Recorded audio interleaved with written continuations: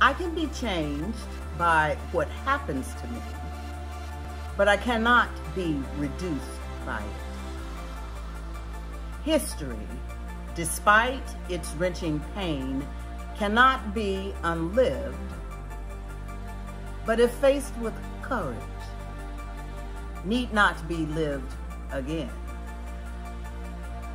Maya Angelou.